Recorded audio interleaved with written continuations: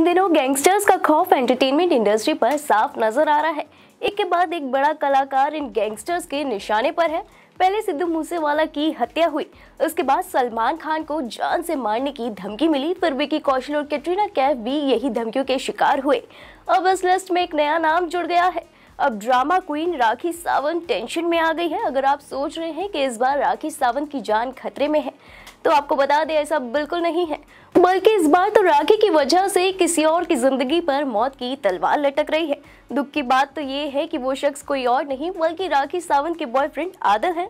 लेकिन अगर आप सोच रहे हैं कि राखी की वजह से ये सब कैसे हो रहा है तो इसका जवाब ये है कि कोई है जो राखी और आदिल की नज़दीकियों को पसंद नहीं कर रहा।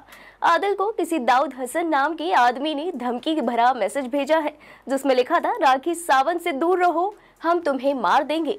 ये मैसेज आदल को बिश्नोई गैंग की ओर से भेजा गया है। ऐसे में इस धमकी पर राखी सावंत का रिएक्शन सामने आया है। इस बात पर राखी ने अपना रिएक्शन देते हुए कहा है। कि हम दोनों एक दूसरे को प्यार करते हैं, हमने किसी का क्या बिगाड़ा है? हमें क्यों धमकी दे रहे हो? आदिल मेरी जान है, मैं उसके बिना ज़िंदा नहीं रह सकती। धमकी देना बंद करो। पहले मुझे खत्म करो। अब राखी सावंत और आदिल के इस खुलासे के बाद सोशल मीडिया पर अलग अलग रिएक्शन सामने आ रहे हैं। किसी को आदिल की चिंता हो रही है तो किसी को लगता है ये भी दोनों का पब्लिसिटी स्टंट है।